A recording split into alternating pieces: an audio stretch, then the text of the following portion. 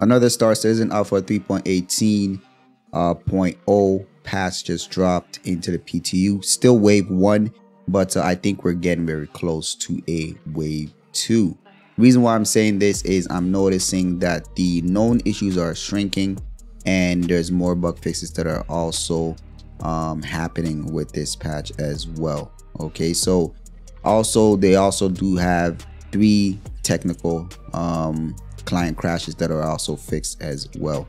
Okay, so some of the known issues that I think I'm just gonna read off the top, just a few of them. Um, the snub fighter for the Connie uh, variants um, is not you can't interact with it, so it's it's effectively unusable.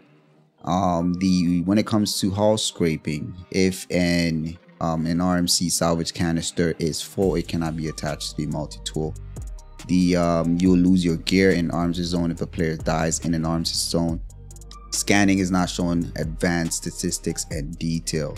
Okay, so those are some of the known issues that's currently happening and um, also some of the bug fixes that are also worth mentioning here is um, unable to respawn a player upon death you you'll be stuck on a splash screen so that was the very previous patch where they had a caveat and they weren't even sure that the patch walls will last long throughout the night so that's been fixed um, they there are some issues with the aspect ratio of 60 by 9 and um, the player character suffocates when they have an an, uh, an equipped helmet, but um, they don't know that it's still pending on the database side. So you'll walk outside in the space and you'll suffocate. Okay, so and um, last uh, another one that I think worth mentioning is so there's something invisible that's blocking players from landing on pad 1 at MIC-L1.